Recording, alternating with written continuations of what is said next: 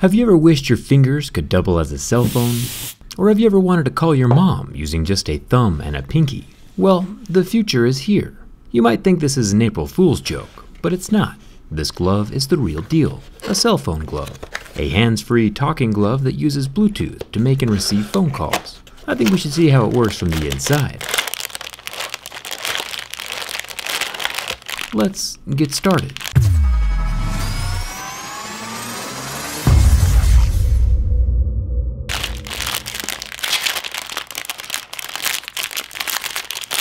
Inside the box, we get two gloves, left and right.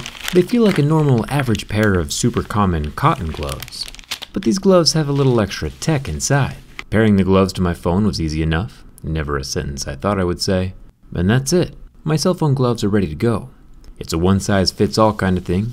I can feel the circular speaker up towards the tip of the thumb, sewn inside the fabric somehow. I'll figure that out more in a second. There is a charging port built into the control unit at the wrist. It's a micro USB port, which feels a bit antiquated at this point, but I'm also reviewing a pair of gloves right now, so let's not be too picky.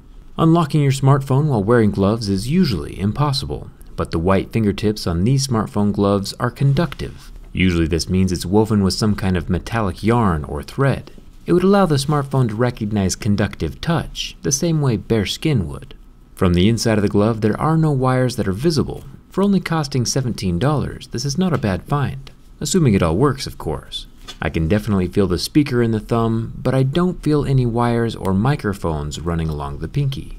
Let's check the audio quality.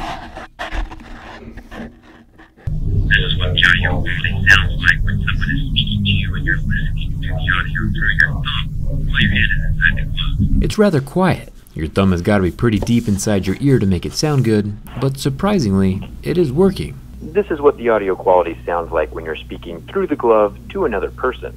The glove is a pretty simple microphone speaker Bluetooth combination, but it seems to sound alright, even if it's a bit quiet. It might be a gimmick, but at least it's a functional gimmick.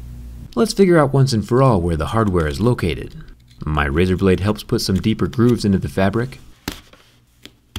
With a bit of persuasion at the seam next to the control panel patch, we can get our first look at the internal circuit board and the battery. This cute little guy is the brains of the whole operation, but it's not protected against water in any way, just bare circuits. So wearing these gloves in the rain or during a snowball fight would probably be a bad idea.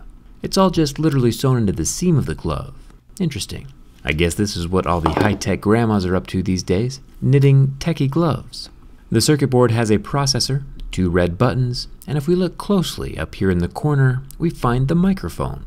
So the sound is actually not coming from the pinky. The box might lead you to assume otherwise, but the microphone is actually located on the wrist, meaning that by wearing the glove on the right hand, where the mic is on the inside of the wrist, is probably a better idea than having the mic on the outside. The guy in the box is definitely not using it right.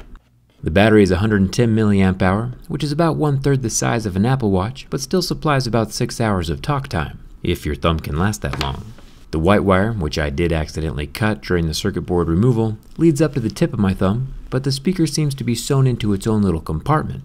With no visible screws, we're left with the razor blade as the best tool for the job, making short work of the conductive threads and exposing the round speaker earpiece.